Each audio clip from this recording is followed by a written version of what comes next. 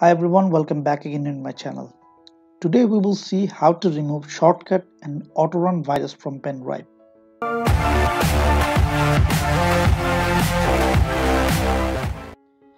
Our pen drive might badly affected by a virus that creates shortcut and hides all these files after creating autorun.inf in the root of the pen drive.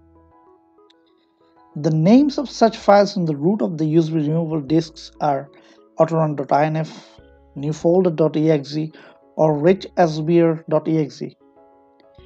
These files attributes are usually hidden or read-only.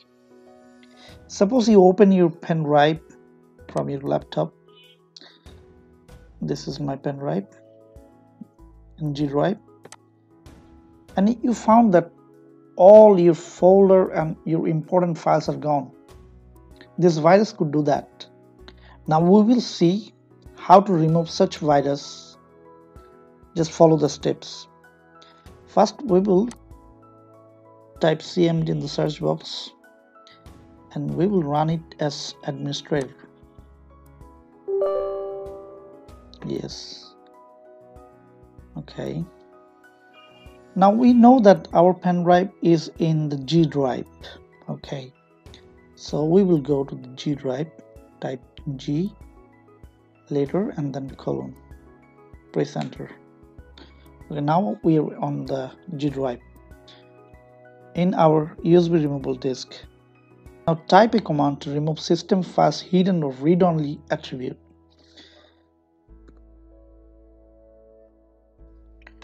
Press enter okay you can see our hidden files are now visible here on our pen drive now you see there is a virus autorun.inf first you have to delete it.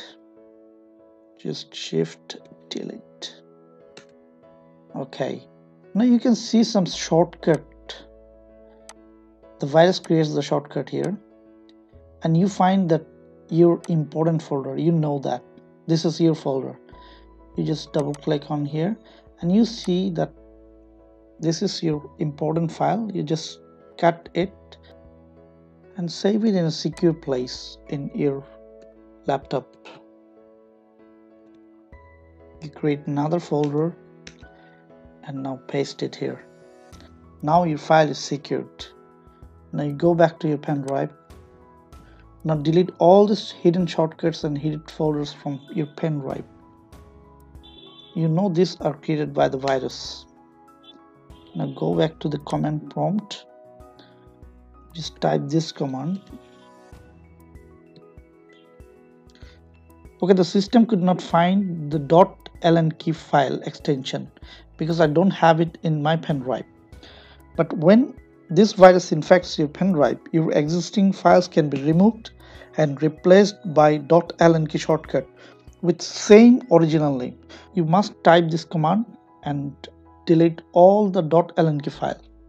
Okay, these simple steps show you how to get rid of this shortcut virus and recover your files that you might think you lost it. Okay, that's all for today.